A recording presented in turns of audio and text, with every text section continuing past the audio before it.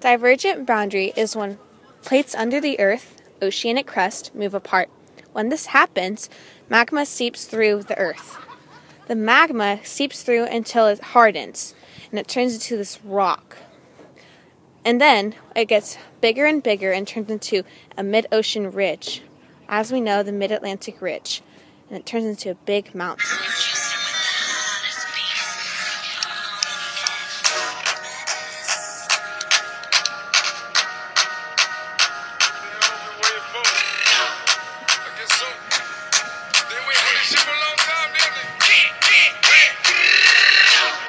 Transform boundary is when two plates slide against each other.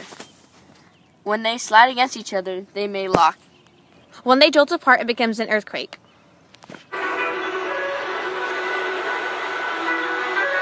Convection is the system under the earth that spreads plates apart and puts them together.